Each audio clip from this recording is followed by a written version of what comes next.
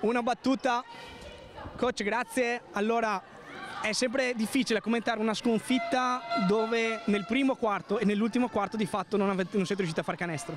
Nel primo quarto e gli ultimi 4 minuti perché eravamo 42 pari, quindi cioè, penso che alla fine però è inutile che stiamo qua, eh, giochiamo a pallacanestro, se non segniamo mai diventa difficile. In partite come queste dobbiamo stare più attenti dietro dove loro negli ultimi 4 minuti hanno sempre trovato canestro anche grazie ai nostri errori e noi non abbiamo mai trovato un canestro.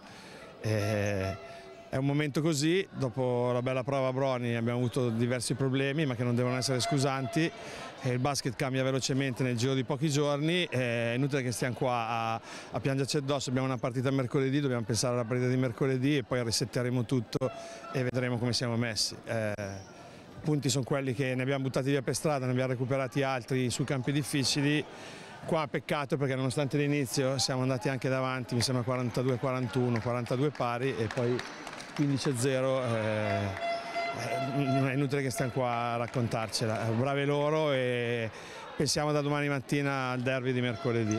Che è l'occasione migliore per chiudere questo anno solare e poi ritrovarsi nell'anno nuovo. L'occasione migliore è se andrà in una determinata direzione, dobbiamo andare in campo e cercare di essere quelle che eravamo dieci giorni fa in partita ma soprattutto in allenamento, quindi eh, non dobbiamo pensare a chi troviamo davanti, eh, dobbiamo pensare solo a noi stessi.